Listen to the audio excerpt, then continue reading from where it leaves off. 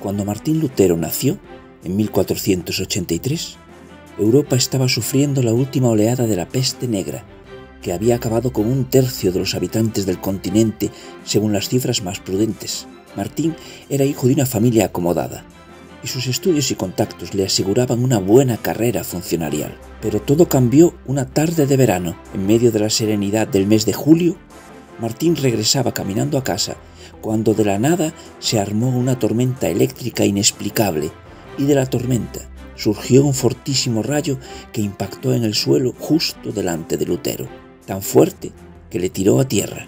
En ese momento cambió su vida.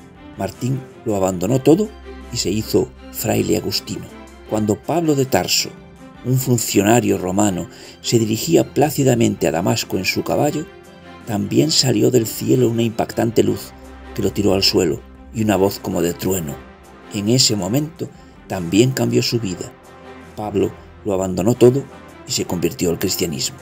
Este paralelismo entre Lutero y Pablo, esta explicación fantástica de cómo recibieron una nueva vida, está en la frontera de lo mítico. Así es el modo en que se construyen los héroes. Pero hay otros hechos ciertos que los enlazan también como figuras paralelas, como líderes que supieron unir alrededor de su persona primero un equipo y después una multitud. Ambos comenzaron casi en soledad. Hoy hay más de 1.300 millones de católicos en el mundo y 800 millones de protestantes. Pablo y Lutero muestran un liderazgo capaz de reinventarse una y otra vez, de no hundirse ante las dificultades, líderes que no dudan ante los abandonos, sino que vuelven a construir lo deshecho, líderes que saben vivir en soledad, están cómodos y motivados en la adversidad. Pablo escribe a Timoteo y le dice una frase desoladora, todos me han dado la espalda, solo Lucas está conmigo. Y a partir de eso, Pablo logró construir la inmensidad de una organización que hoy llega a cada rincón del planeta y ha protagonizado la historia del mundo. También Lutero tiene esa fuerza de polinizar su entorno partiendo de la nada, de la soledad. Cuando clavó sus 95 tesis en la puerta de la iglesia de Wittenberg, estaba solo. Pronto, 50 ciudades libres se sumaron a la reforma y en seis años se extendió a Dinamarca y a toda Suecia y Noruega. Y como pieza fundamental de la estrategia de ambos, la comunicación. La fuerza de extender con todos los medios a su alcance su mensaje, comunicar, comunicar y comunicar.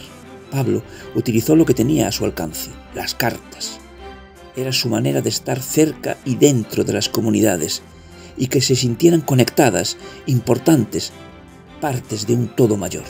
También los encuentros personales y los muchos viajes, estar para lograr contar en primera persona. Lutero encontró un aliado, la imprenta.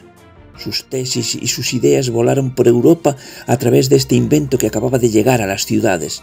La imprenta logró llevar a Lutero a cada hogar. Capacidad para comunicar a millones sin que se debilite tu mensaje, capacidad para construir comunidades que se sientan unidas entre ellas, capacidad para resistir a la soledad sin dudar. Así lo hicieron, así cambiaron su mundo, así construyeron el nuestro.